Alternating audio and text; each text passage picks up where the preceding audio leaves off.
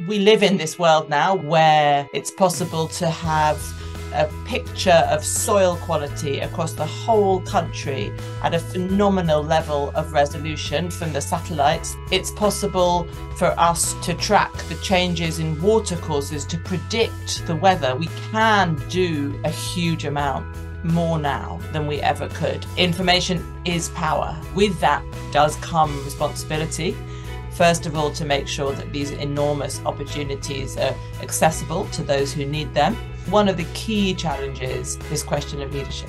To realize that opportunity, it takes leaders who want to make sure that the decisions that they make are based on evidence and data. You know that a government is serious about data when they invest in data that tells them things they don't want to know.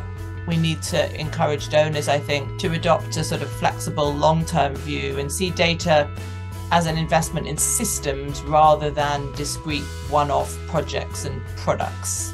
For every one dollar that is invested in data systems, the country can expect an economic rate of return of about $32.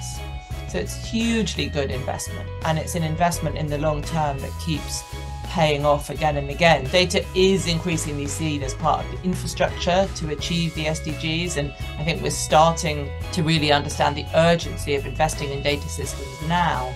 We are seeing data becoming an issue, rising to the top of the agenda in some of the political forums like the G20 the onus is on all of us, is on governments, is on international organisations, is on donors to really work together to develop a concrete plan we do really have an opportunity this year to make that breakthrough to achieve the Sustainable Development Goals in this second half of that 15 year period.